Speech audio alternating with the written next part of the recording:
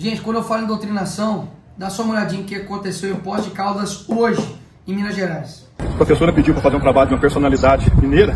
Ele perguntou para a professora se podia ser feito do Nicolas Ferreira. E ela autorizou a fazer. No dia da exposição do trabalho, um professor de história, que nem é da matéria dele, interferiu, falou que não podia ser, ser colocado esse trabalho no mural e fez um o, teatrinho dele aqui na escola, certo? E por fim tiraram o trabalho do meu filho do mural. Esse meu filho já foi desacatado uma vez lá, que esse professor retirou ele de dentro de sala de aula para dar esporro nele, intimidou ele, fez pressão psicológica nele. E agora eu vim aqui para a gente resolver esse, esse, problema. Já fui lá, já reuni com o diretor, já foi constatado em ato direitinho, ele é bem tudo, ele escutou também que não, não devia. E eu proibi ele de chegar perto do meu filho. Ele não vai mais conversar com meu filho, meu filho não vai mais participar de aula de história nesse colégio. E a gente vai tomar as medidas cabíveis para ver se a gente consegue resolver isso daí. Porque a militância na escola, infelizmente, hoje é, é muito forte. É muito forte. E se nós que somos da geração Coca-Cola se a gente não tomar providência, se a gente não vier dentro de sala de aula, se a gente não peitar esses professores. Então, eu estou vindo aqui, eu quero que esse vídeo chegue a bastante gente. Eu quero que mais pais, assim como eu, tomem essa mesma atitude. Eu estou aqui de roupa suja, de roupa velha, saí do meu trabalho para vir aqui defender o meu filho. Se meu filho fosse um vagabundo, eu era o primeiro a chamar a atenção dele. Mas o meu filho não é vagabundo. Ele passou em quinto lugar na faculdade, está indo para uma faculdade particular, graças a Deus, para não receber mais influência esquerdista. E eu queria continuar ajudando a escola, porque eu estudei aqui há 45 anos atrás, eu tive professores de excelência e eu estou muito triste de ver o que aconteceu com a escola hoje. Então eu queria que tivesse uma adesão aí de mais pais de alunos para a gente poder ver se consegue melhorar a, a, qualidade do ensino. Porque infelizmente o que acontece hoje na escola é muito triste. A gente vai recolocar o trabalho dele na, lá, na, na parede da sala de aula.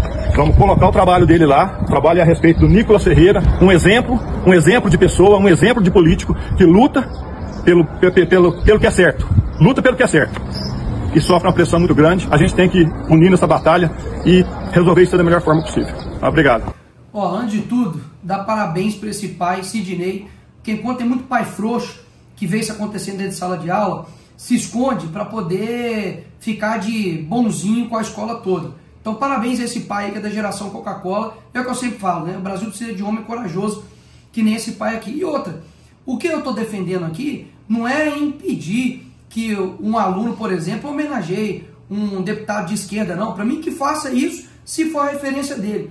O que não pode acontecer é um professor que nem era da matéria dele, é um professor de história, chegar e impedir o menino de colocar eu como referência dele em um, um trabalho de escolar. Agora, se fosse um maconheiro, se fosse um vagabundo, se fosse esse tipo aí de referência que a esquerda tem, aí não ia ter problema nenhum.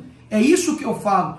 Quando hoje a esquerda está desesperada porque tem de fato um crescimento gigantesco de novos jovens conservadores, é por causa disso aqui, ó é porque não pode colocar ali ó, um, um, um cartaz meu, colocando ali da minha família, minha trajetória política, quem sou eu, mas é, tá tranquilo, porque quanto mais bate, mais a gente cresce. Eu também passei por muita doutrinação na escola, no ensino médio, na universidade, e graças a Deus, não falo isso aqui para poder ficar me esnobando, não, mas graças a Deus hoje eu sou deputado mais votado do Brasil, e é porque eu não recuei nem um milímetro daquilo que eu acreditava, nem para professor, nem para ninguém porque eu sei o que, que essa galera sofre de pressão dentro de sala de aula. E eu quero aqui reforçar de que qualquer coisa que esse menino aqui sofrer, é, aqui em Minas Gerais, aqui, seja perseguição, seja intimidação, a gente já entrei em contato com ele, já liguei para ele, a gente vai dar todo o suporte possível. E que mais pais como o Sidney surjam no Brasil todo e tenham coragem de defender aquilo que precisa ser defendido. Porque eu não tenho dúvidas que é muito jovem que passa a mesma coisa do que o Iago aqui passou. Mas graças a Deus tem gente para poder defender e dar voz a isso